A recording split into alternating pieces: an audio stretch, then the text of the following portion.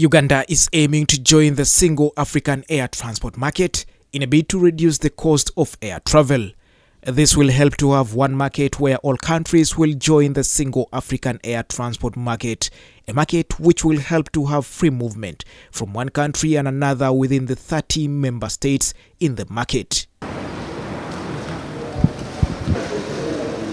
Engineer Ronnie Barongo, the Director of Safety, Security and Economic Regulation, has said that they would like to have all African air carriers to join the single African air transport market so that air transport is improved. expect also African uh, air carriers also to uh, to have uh, open routing, uh, open uh, free connection, uh, so that we move away from the point-to-point connection. Like now you, you see like Entebbe, Nairobi, then in Nairobi. Adikinyo Lwenge, the COMESA Secretariat, and other stakeholders have highlighted the benefits of having a single African air market. if it is harmonized, will create a fair playing ground whereby we are having uh, what we call the fifth freedom of the air, whereby airlines can operate more or less freely with, between member states without any uh, hindrance. can only be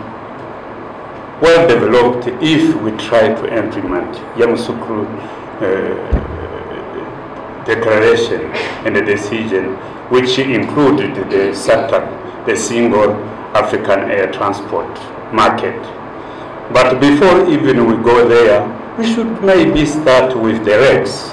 Uh, According to the Minister of State for Works and Transport, Honorable Fred Biamkama, who represented the Minister for Works and Transport, General Katumba Wamala, the single African air transport market will help develop air transport in member states. with the provisions of the YD, which will facilitate implementation of a common transport policy He also confirmed that Uganda has never failed to pass the International Civil Aviation Organization guidelines. He confirmed that Uganda will be part of the single African air transport market by June 2024.